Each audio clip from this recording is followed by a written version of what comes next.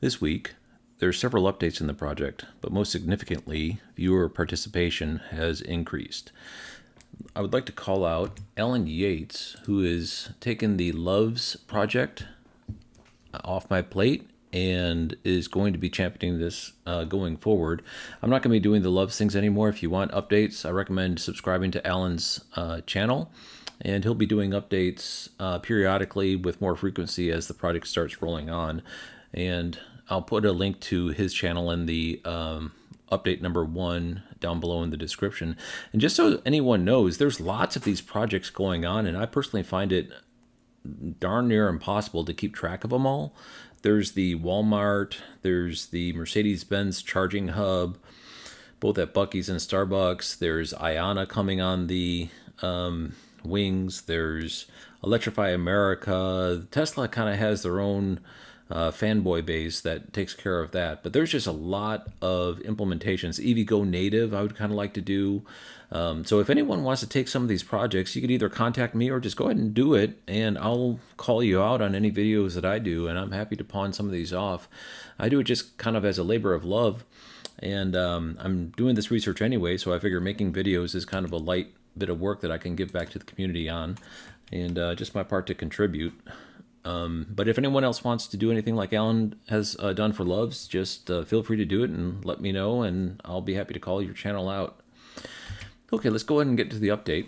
As I mentioned, viewer participation has picked up, and what we had as a result of the anniversary was, let me shrink my big fat head down a little bit. Anthony uh, recommended that I do a poll, and so I quickly did so. We have 110 or 106 votes so far. And right now, with six, we're at 67 open. Um, the vote is 80 to 89 with 32% of what will be completed by December 31st. I personally think that's a little low. My personal vote is a smidgen over 100. So I'm putting my hat right here in 100 to 109. I think they're going to pour on the steam here pretty quick. Just by looking around at the environment, I think there's quite a few locations that are getting ready to get greenlit pretty quick because you can see this uh, the screens are on, and they're likely just waiting for municipal uh, permitting for business licenses and things like that. So I think this is going to go pretty quick actually. Also, I took some time to consolidate the data into a line plot of the growth of the network and a couple of things I want to call out here. Initially, we had eight stations open, and then it popped up to 10 a couple of days later. And then we had a little bit of a breather while they caught their breath, went up, it went up. And right here on December 31st, January 1st, they hit the 25 mark, which was their goal for the year. And then it just kind of stagnated uh, until the middle of February, where it started to pick back up again. What happened here is Pilot Flying J was purchased by Berkshire Hathaway and there appeared to be a deliberate pause in activity. Not only were there no stations opening, there was no new construction getting spotted. It was just a real lull in activity. And I think as a result of that, and the team kind of getting reevaluated and reassessed, and the project all getting um, uh, brought underneath the owner's new goals, uh, they lost almost a quarter of a year in um, inertia because they were really clipping along here at the tail end of the, the year and then they just kind of lost their steam. And as a result, I don't think they have any shot of getting to 200, but you can see the graph. Um, right now, they're on a trajectory where they're clipping along at a pretty good pace. And uh, since, what, June? So if you plot the line graph here before June, we would have been down here. But since June, we're on a pretty good trend going up and uh, getting multiple stations per week typically. Again, this is the map that what is supposed to be done by 2024. There's nowhere we're going to get this. But even if we've got half of that, that's a pretty damn good network.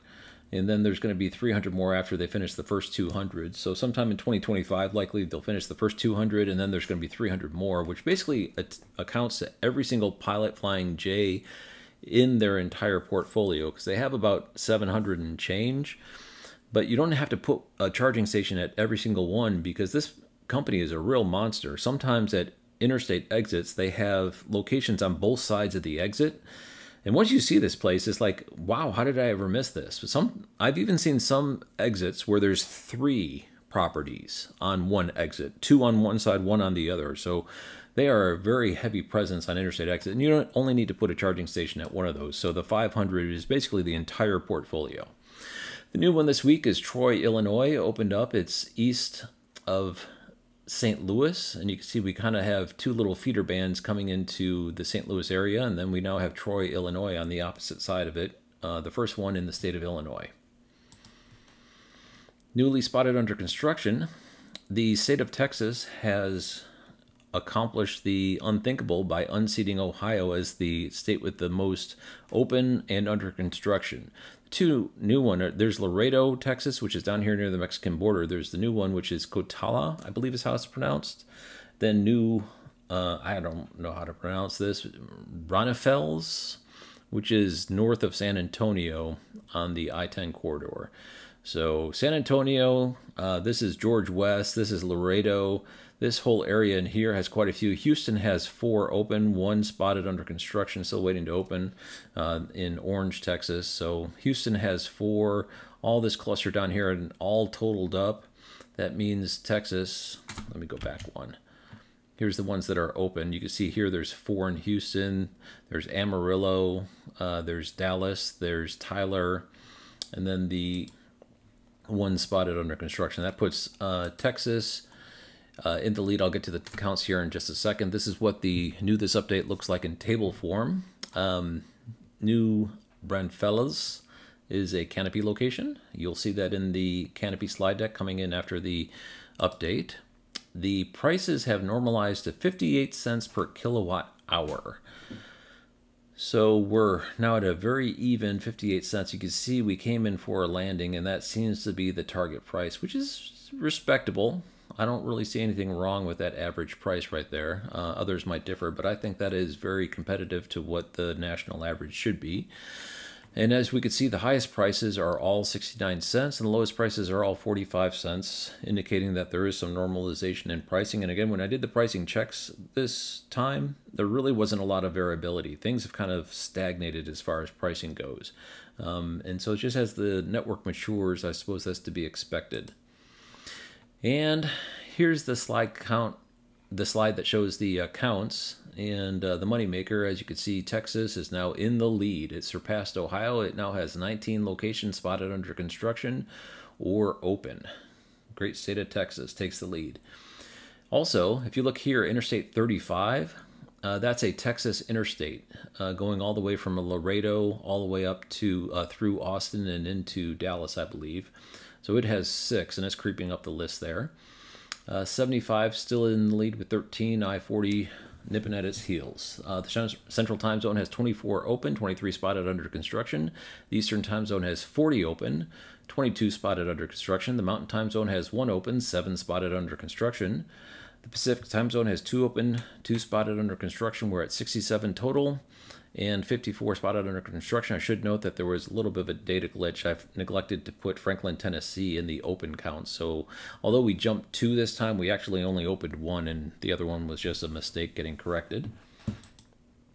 And here are the NEVIs, which are unchanged from the last update. I'm going to go ahead and roll the slide deck that shows all the canopy locations, both open, spotted under construction, as well as the data tables, with all the location information included. Thanks for watching.